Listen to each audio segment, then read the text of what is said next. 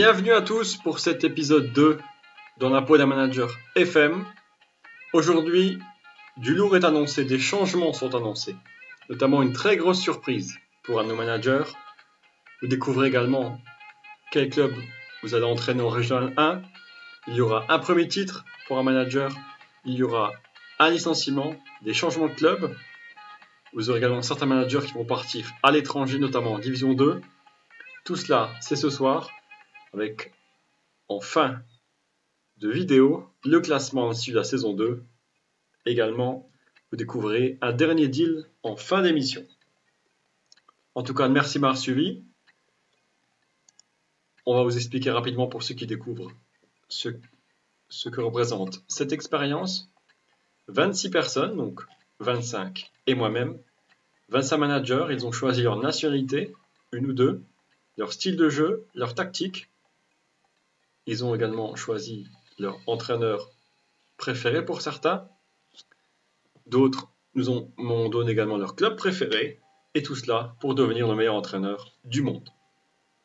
Les entraîneurs peuvent également s'aider eux-mêmes et vous, supporters, pouvez les aider. Je vais prendre un exemple. Donc, pour Matisse, 1974, il y a sept possibilités. Vous avez ambition, fidélité, professionnalisme, fair play, tempérament, polémique. Les entraîneurs peuvent me dire dans les commentaires seulement YouTube quelle rubrique je dois augmenter. Et comme je suis généreux avec vous, j'offre deux points maintenant à chaque entraîneur qui me dira dans quelle catégorie je dois leur augmenter leur note. Pour les supporters, vous avez juste exactement la même chose à faire. Je soutiens Alex Linkin, je soutiens Nono Flowski, je soutiens FM Graoui, qui vous voulez eux, ils auront un point finalement, avec un maximum de 6 durant la semaine. Répondez juste rapidement parce que j'essaie de simuler, ça prend un peu de temps, le mercredi vers midi, donc avant, ça serait super. Je vous laisse découvrir également les logos des clubs que vous allez entraîner. En tout cas, avant, on va faire une présentation avec trois personnes, trois étrangers. Donc, on commence par Nonoflowski, il vient de loin. Il vient des îles Féroé et là, il a pris comme deuxième patrie Guingamp. Son but, c'est pourquoi pas d'entraîner les îles Féroé, mais surtout, son but c'est d'être comme Steven Girard, pourquoi pas à Glasgow, voire rester dans sa ville à Guingamp et pourquoi pas une fois affronter Steven Gerrard en finale de la Ligue des Champions. C'est ce qu'on lui souhaite. Le deuxième, donc, il est premier au niveau du niveau. Il vient d'un peu plus loin, d'un peu plus chaud même. Il vient de Serbie. Et lui, il va finalement aller à Toulouse au niveau de la ville. Quant à lui, son rêve c'est de redorer le blason de Toulouse descendu en division 2 ou pourquoi pas entraîner l'Olympique lyonnais. Il est également un fan de Pascal Duprat. Au niveau du troisième, lui, on va aller vraiment plus loin. Je retrouve l'homme à la double nationalité, Kill Junior, fan de Tiki Taka. Lui, c'est un peu plus loin qu'il vient. Il vient des États-Unis. Il est à Aubagne. C'est à Aubagne qu'il a fait ses preuves en tant que préparateur, en tant qu'entraîneur adjoint. Et là, il voudrait, pourquoi pas, entraîner au bagne, mais pourquoi pas un grand club comme l'OM, voire Chelsea. C'est également ce qu'on lui souhaite. Un Américain entraîneur de l'OM, ça serait incroyable. On a déjà un président entraîneur à l'OM. Pourquoi pas En tout cas, ce sont les trois clubs, les trois, pardon, les trois joueurs que vous avez présentés. Donc ceux qui n'ont pas encore envoyé leur présentation, n'hésitez pas. Je suis sur certains Discord ou par Twitter. Donc j'ai reçu les autres. J'essaie d'en faire 3 ou 4 par émission. Maintenant, on va avoir quelques bruits de couloir avant de vous montrer également ce qui s'est passé durant cette année, une année très riche. Il y a eu trois grandes rumeurs durant cette année. Des rumeurs, on verra, fondées ou pas. D'abord, à Frosinone, en Italie, On annonce pourquoi pas Vladislav Pulpovic avec en deuxième position, troisième position Willy Angel. Ont-ils été dans ce club? On verra ça dans quelques instants. Autre chose également en Italie, à Bari, un entraîneur a été licencié, plus de confiance dans l'entraîneur, et Serge Labarbe est également pressenti pour prendre le poste. Dernière chose, également à Monza, William Angel est considéré comme le favori, mais derrière lui, il y a projection virtuelle. Alors, ces entraîneurs ont-ils été en Italie? C'est ce qu'on va voir tout de suite. Avant cela, je vais vous parler un peu de certains clubs. Donc, je vous montre rapidement les entraîneurs où ont-ils été. Alex Linky, lui, est à Vénitieux, club en Bretagne, normalement non, mais il y a des petits changements au niveau de la région 1. Donc, vous avez choisi les clubs dans nos régions. Ils ont été reversés dans d'autres régions. Vénitieux, que vous connaissez peut-être, ce club de Vénitieux où Stéphane Paille a entraîné. Ce club également est en huitième de finale de la Coupe de France contre Nancy. Coach Next, lui, part en Bretagne, à l'ouest, l'US Kessoy. Pour ceux également qui auraient des informations sur ces clubs ou qui connaîtraient des, gens qui travaillent dans ce club, n'hésitez pas à me le dire. Ça m'aidera également pour la présentation de ce club et également pour faire un peu de publicité à certains clubs, notamment des clubs de région 1 qui, vraiment doivent être connus, surtout en ce moment. C'est pas facile pour eux. Qu'une Jérémy lui va partir en Ile-de-France, au FC Souci, sans souci j'espère. Elle était facile, c'est vrai. Loco Prince, quant à lui, ira au stade Sautevillers, donc c'est en Normandie. On continue par moi-même, j'ai choisi le club de Sarreguemines, que vous connaissez peut-être, un club qui a, été, qui a déjà en Coupe de France, qui s'est fait battre en 32e par Dijon, et qui est l'ancien club de Métine Carrière, que vous connaissez peut-être, qui joue au Pro Corps maintenant, club luxembourgeois. Donc pour ceux qui voudraient voir ma carrière, n'hésitez pas, elle est dans les playlists de ma chaîne. Kill Junior lui est parti en Méditerranée, au salon Bel Air Football. Celui-ci qui a été en 4ème division il y a quelques années, il voudrait au moins faire remonter ce club en 4ème division.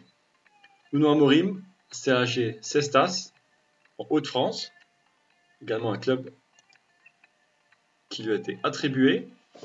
Quant à Raphaël Bonotome, au FC Olon Château, un club également avec de belles couleurs. Pour Vincent Claude, lui, c'est en Nouvelle-Aquitaine qu'il a été, au club de football club Noyabier. C'est un club que je ne connais pas du tout. Yassine Aïbara, lui, ETFC Lyon, à ne pas confondre avec l'Olympique lyonnais. Il voudrait également devenir un des grands clubs lyonnais. C'est ce qu'on lui souhaite. Quant à Martin Renard, à Feitia, un club qui ne devrait pas être dans le Grand Est, mais il a été reversé dans le Grand Est. On verra Florent Tempest dans quelques instants. Avant, Coach Mo à Chaumont, c'est dans le Grand Est, mais reversé en Auvergne-Rhône-Alpes. Un club qui, il y a 20 ans, pour ceux qui étaient nés, pardon, qui a 30 ans, pour ceux qui étaient nés, jouait en division 2 française. Quant à Corentin Lemay, l'avenir foot c'est son club. Il a été en 16e finale de la Coupe de France contre le Havre. Un bon parcours et ça serait vraiment un tremplin pour cet entraîneur. Le dernier, avant la surprise qui va arriver, l'SPTT Caen. Ce n'est pas le Stade Malherbe de Caen. Et c'est un club également où euh, Franck Dumas est passé en tant qu'entraîneur en tant que joueur, pardon. C'est maintenant Franck Duval, l'entraîneur, donc il a été tout jeune dans ce club. On n'a pas parlé d'un club, on va le voir tout de suite. Ce club qu'on n'a pas vu, c'est celui-ci, le club de Florent Tempeste, le CO Vincenois. Il est en Ile-de-France et il y a une grosse surprise pour toi, Florian, c'est qu'un membre du club a voulu te laisser un message. On va l'écouter. Salut à tous, c'est Thomas du CO Vincennes. J'aurais souhaité une bonne chance à l'entraîneur football manager Florian Tempest dans le challenge Football Manager 21 sur la chaîne YouTube de Gabi Banoun. Allez Florian, bonne chance et t'as choisi le bon club. Allez COV. En tout cas, je remercie ce club pour ce beau message. J'espère que Florian également sera content.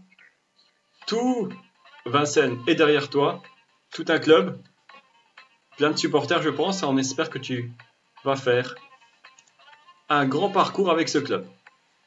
Il y a également beaucoup de mouvements durant cette année. On va les voir ensemble. Les surprises, les mouvements, c'est tout de suite. On commence par le changement de club de Vincent Claude. Il quitte Noyabier pour rejoindre Châtaigneraie-Vendée. C'est un peu la surprise car, regardez, 52% de victoire. Il part dans un club 13e en National 3, ce qui est bien. Un club semi-professionnel, mais qui est sûr de descendre en Régional 1. Bon choix ou pas, à voir. Mauvais choix pour moi en tout cas. Les joueurs de Sarreguemines sont assurés de finir au pire de leur classement. C'est pourquoi je suis renvoyé du club. Le premier licenciement, il tombe sur moi. En tout cas, autre changement de club, c'est pour FM Graou, je ne sais pas si ça va lui plaire. Il quitte la Lorraine pour aller en Alsace, à Issar Modenheim. C'est aussi en euh, Régional 1. Par contre, c'est la surprise, c'est qu'il passe d'un club qui est quatrième pour un club qui est dixième. Sacré changement pour lui. On verra si tu vas te plaire en Alsace. En tout cas, des autres bonnes nouvelles, c'est Pulpovic qui trouve un club à Frosinone, c'est en Italie.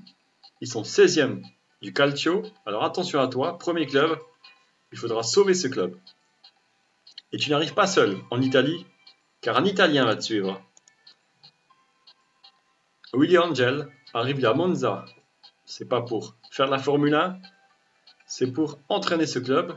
Et la surprise est totale parce que vous voyez, c'était Serge Labarbe qui lui était le favori pour le poste. Donc 9 à voir si tu joues la montée ou pas. La montée ou pas, les barrages, on va voir tout de suite avec le classement qui arrive. On va passer donc maintenant au classement dans l'ordre décroissant. On commence par la 25e place. Et ça, c'est la petite surprise.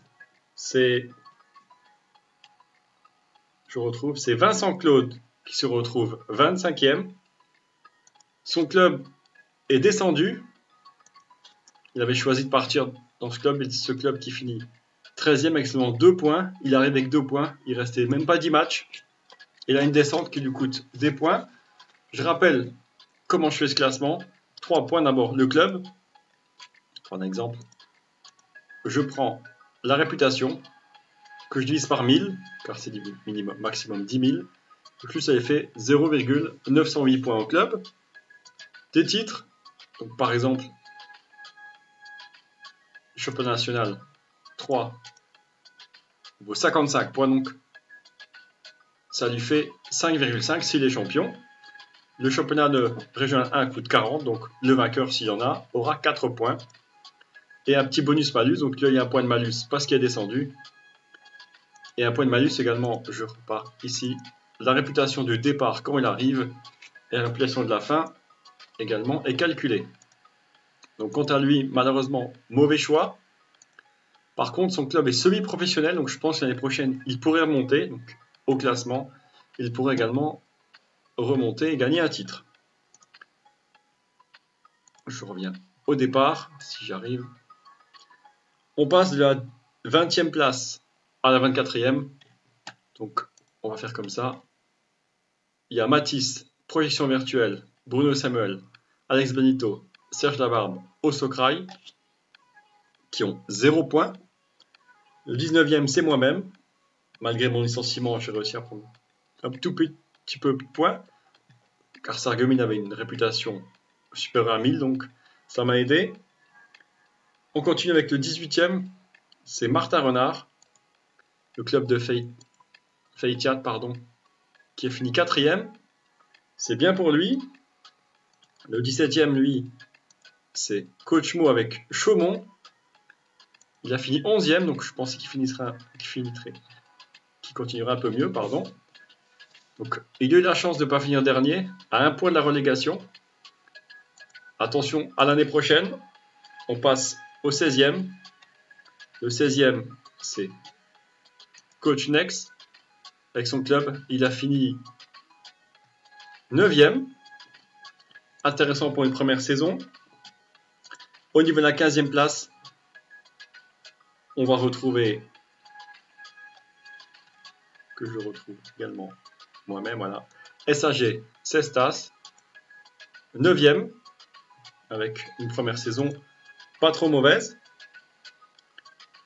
Donc c'est la 15e place, pourtant on verra le classement tout à l'heure. La 14e place, c'est pour Queen Jeremia.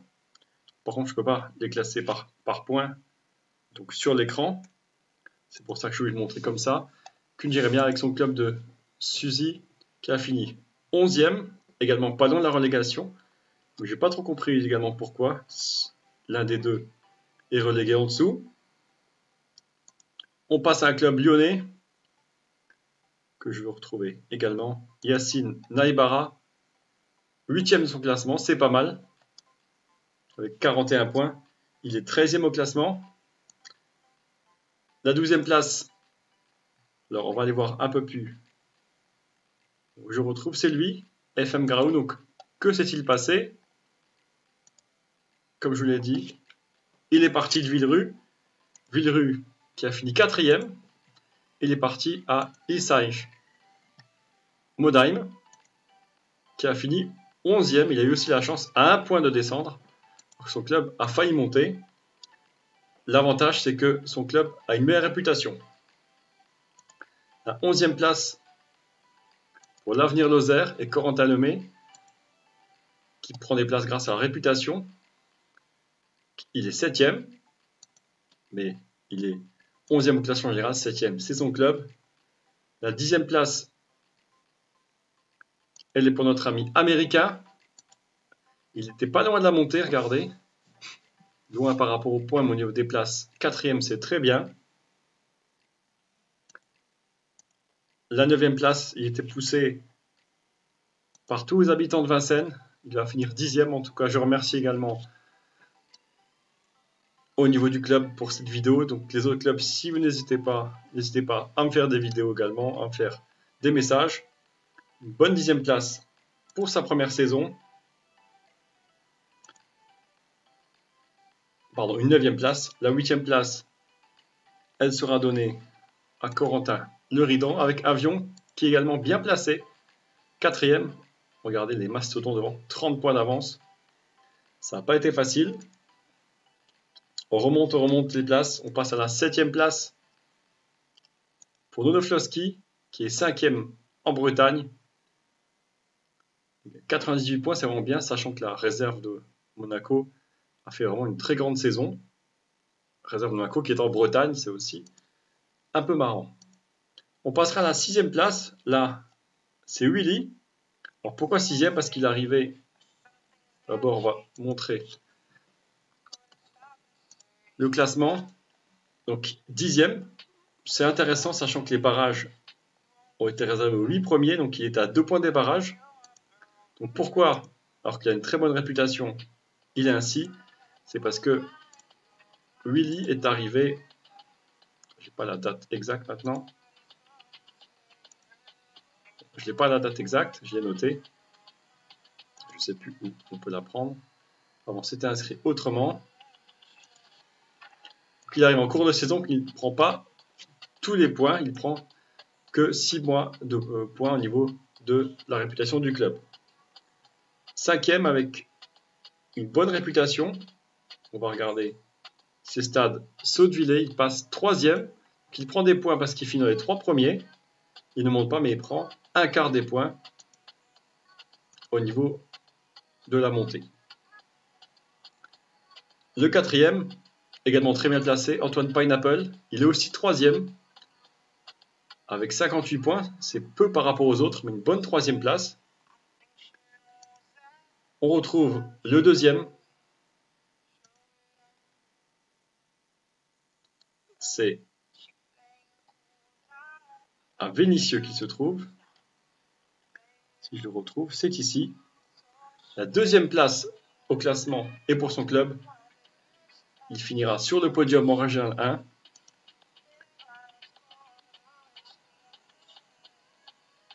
Voilà, et on va regarder qui c'est qui est premier.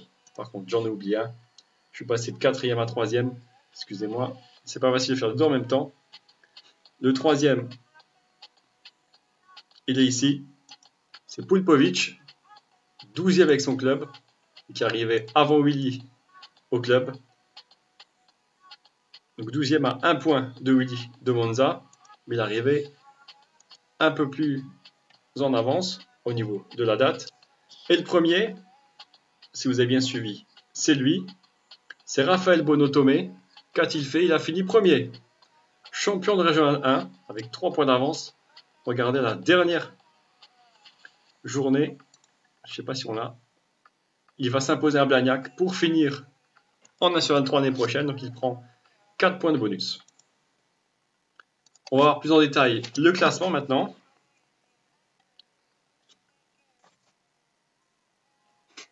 Donc, vous voyez, pour vous expliquer, le club, le titre, le bonus-malus. La descente pour Vincent Claude, ça fait moins 1 point. Et son club lui rapporte, donc il a une réputation de 999, donc on va dire 0. Cela 11-0, donc moi je récupère également 1-19, mais je perds à cause du bonus-malus. Ces classements, donc ça c'est les 14 à 25e, donc moi je ne me mets pas dans le classement. Les premiers, c'est ici. Vous voyez par exemple, pour Monza, Oli est 6e. Il n'a que 1,43 dans son club, quasiment la même réputation que Frosinone. Mais l'année prochaine, il pourrait pourquoi pas remonter au classement. Pulpovic a le meilleur club pour l'instant. Il est arrivé aux trois quarts de la saison. Et le titre rapporte des points à Raphaël Bono. Donc le premier 6,9, c'est peu. Deuxième 3,2. Les autres sont à 2,91 et 2,15. Certains clubs n'ont pas d'entraîneur. Je leur offre un moyen de devenir entraîneur. C'est maintenant. Pour ceux qui n'ont pas d'entraîneur, vous ne pouvez plus aller en France en régional 1, mais on va demander des pays exotiques. Voici ce que j'offre à certains. La division 3 turque. Donc c'est comme lors de la, dernière session. Soit vous choisissez un club en division 3 turque, soit vous choisissez le groupe, donc vous me dites G1 ou G2, et ça sera sûrement le 8e ou 9e club que je prendrai au classement la saison d'avant, ou aléatoire, donc le premier club division 3 turc libre au 1er juillet, il sera pour vous. Plusieurs précisions, les, entraîneurs qui sont dans des clubs amateurs peuvent aussi changer. Donc on va préciser ça. On va regarder le salaire. sens. Donc les deux premiers, ils ont un salaire de 25 000, ils sont pros. Deuxième, ils ont un contrat également avec un salaire, ce qui est pas mal, de 1800. Ils ont un contrat soit mensuel soit euh, pardon, semi-pro, soit pro, donc ils ne peuvent plus changer.